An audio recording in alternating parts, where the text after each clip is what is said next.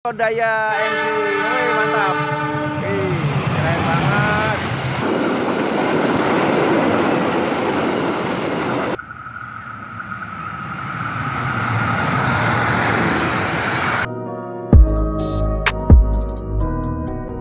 Assalamualaikum warahmatullahi wabarakatuh. Sahabat jumpa lagi dengan saya Fauzi Tia di channel Kang Tamim Semoga sahabat semua dalam keadaan sehat walafiat Tidak kurang suatu apa pun Dimurahkan rezekinya dan dimudahkan segala urusannya. Pagi hari ini tepat jam 7 lewat 10 menit Hari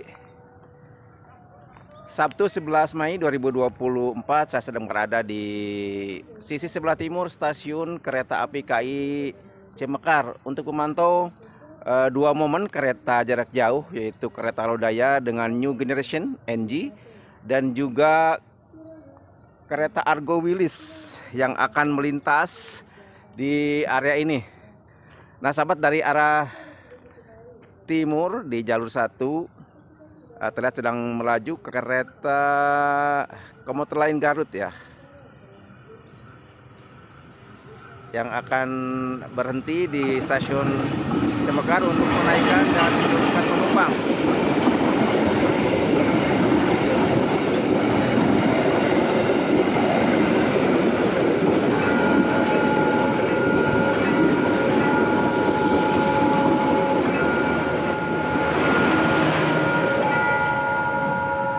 Sudah terdengar gentak berbunyi nampaknya uh, tidak lama lagi akan melintas di jalur 2 kereta Lodaya dengan New Generation dari arah uh, barat menuju ke tujuan akhir stasiun Solo Balapan. Untuk memantau pergerakan kereta Lodaya saya akan pindah di spot Kokojo ya yang biasanya uh, banyak para youtuber memantau berada di sisi sebelah timur atau tepatnya di depan stasiun Cimekar Lama. Saya akan berjalan sekitar 200 meter ya ke ujung oh, bekas peron di sebelah timur sana.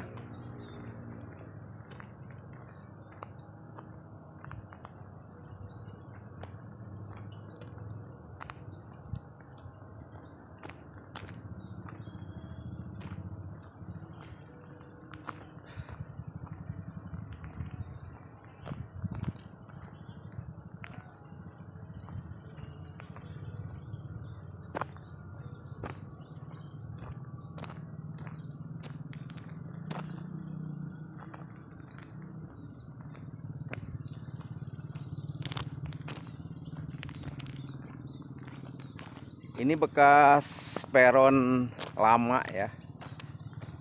Peron di stasiun Cemekar Lama. Ini cukup panjang nih. Ini dari ujung barat saya akan jalan ke ujung timur. Dan biasanya banyak orang juga nih uh, menggunakan atau memanfaatkan peron ini untuk jalan di sini ya. Karena ini enak sekali matahari nya terang di sini tidak terhalang ya. Dan treknya cukup bagus ya di sini. Jadi cocok untuk olahraga sebenarnya di sini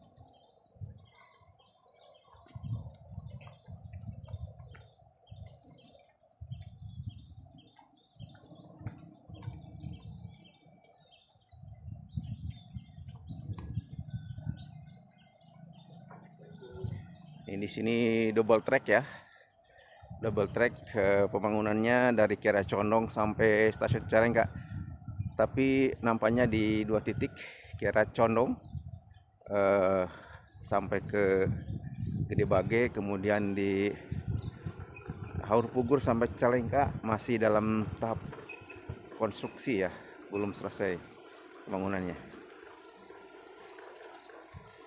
Wah, ternyata ada Kang Rispa nih. Di sini sudah standby nih. Waduh, mantap.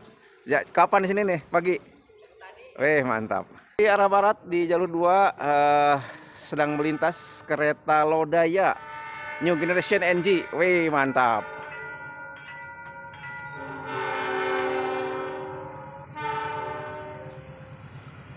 NJ Lodaya NJ. Wih, mantap. Wih, keren banget.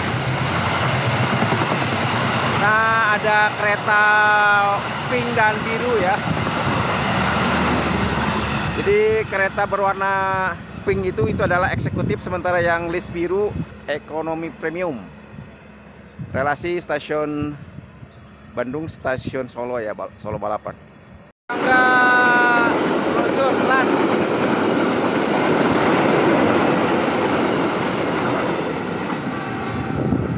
Ternyata ini kereta Malabar dan Turangga telat ya karena informasinya ada kereta Lodaya tambahan tadi selip di area Garut informasinya. Sahabat di uh, area stasiun lama Cimekar ini juga ada yang unik dan di sini uh, banyak para youtuber uh, khususnya Relven Cimekar. Lokasi ini adalah lokasi uh, Menara Eiffel ya. Terlihat di sebelah timur sana e, mirip dengan menara Eiffel. Itu adalah e, tower atau tiang untuk e, listrik tegangan tinggi SUTT saluran udara tegangan tinggi yang mirip sekali dengan menara Eiffel ya dari kejauhan.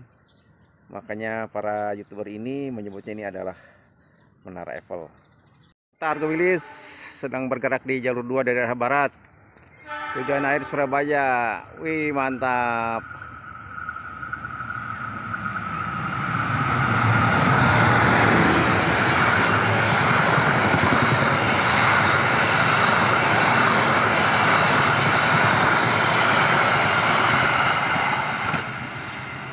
Sobat itulah aktivitas saya di pagi hari ini memantau dua kereta jarak jauh yang selalu ngebut di area ini karena trek datar dan lurus.